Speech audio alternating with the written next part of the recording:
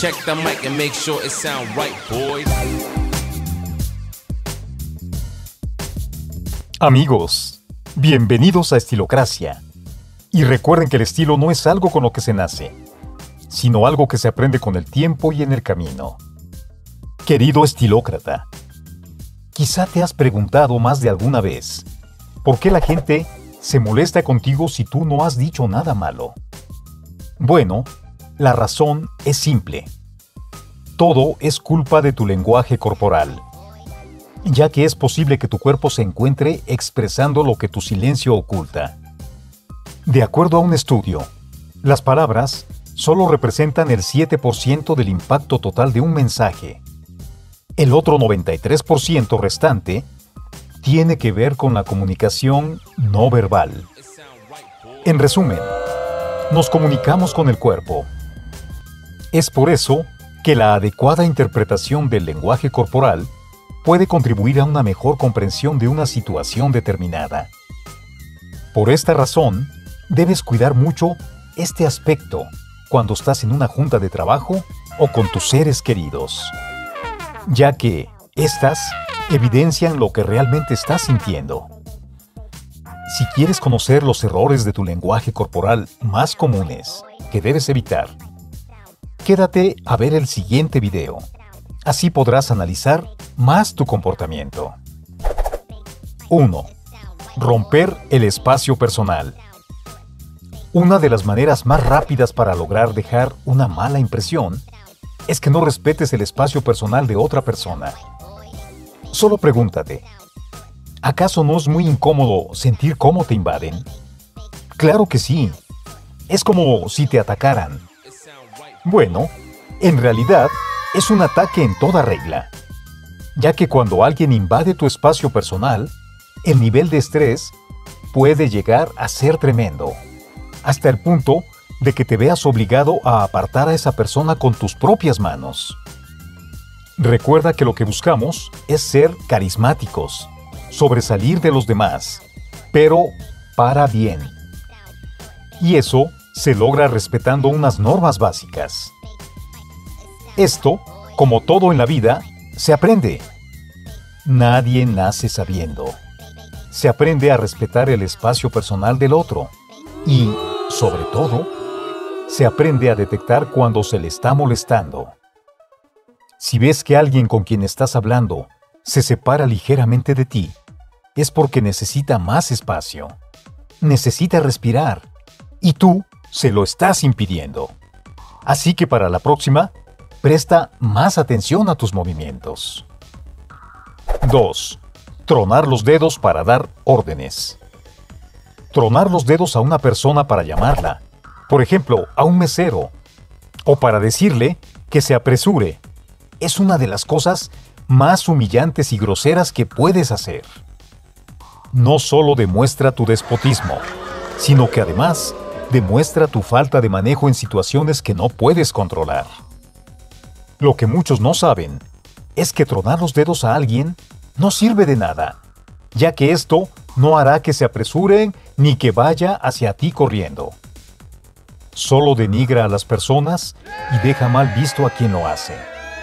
Mejor, aprende a ser educado y di las cosas tal cual, en lugar de querer sentirte superior. 3. Señalar con el dedo a las personas. Este gesto tiene un significado muy agresivo. Se trata de culpar, obligar de forma subliminal a otra persona. Y aunque es cierto que este gesto de apuntar con el dedo a alguien se suele utilizar en discusiones o entre personas conocidas, es necesario cierto grado de confianza entre ellas. Aún así, hay quien señala con el dedo a personas que acaban de conocer o con quien no tienen esa confianza. En este caso, el apuntar con el dedo a la otra persona sería como hablarle a un desconocido de tú en vez de usted. Y al entrar tan rápido en una relación tan estrecha, lo más probable es que se esté invadiendo su espacio personal. Por ende, la reacción de la persona señalada será la de defenderse psicológicamente del atacante. Se centrará más en la persona que le está señalando que en el mensaje que le está transmitiendo. 4. Alzar los ojos. ¿Cuántas veces, siendo adolescente, no hiciste esta expresión cuando te sentías cansado de alguna situación de la cual no querías ser partícipe? Sabemos que lo hiciste más de alguna ocasión y que hacerlo pudo ocasionar más de algún problema con tus padres o quizá algún profesor en la escuela. Ahora imagina hacerlo a tu edad adulta. O imagina a un mandatario haciéndolo mientras su contraparte da un discurso. Es demasiado infantil. Poner los ojos en blanco puede ser quizá una de las peores expresiones del lenguaje corporal que se pueden hacer. Esta actitud manifiesta incomodidad, esa sensación de estar hartos de algo, y es una total falta de respeto hacerlo frente a otras personas, incluso cuando no te están hablando. Así que piénsalo la próxima vez que veas a alguien que te cae mal por la calle y quieras hacer esta expresión.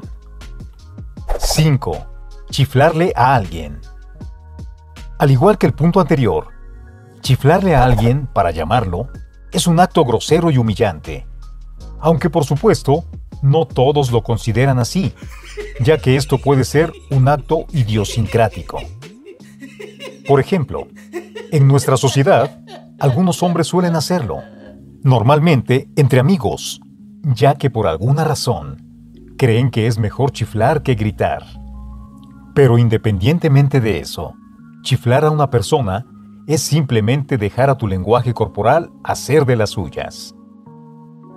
Si no estás en un círculo con mucha confianza, simplemente debes evitarlo, ya que una persona no es un perro, si no quieres ser mal visto y quedar como un grosero frente a los demás, opta por usar las palabras. 6. Poner cara de aburrido cuando alguien te habla. Hacer anotaciones en una libreta. Distraerse con cualquier cosa. Utilizar el WhatsApp mientras te estás en una mesa. Suspirar mientras otro habla. Son todas señales que dan la impresión de que se está ignorando a la persona. Y puede ser aún peor poner cara de aburrido o bostezar mientras te hablan.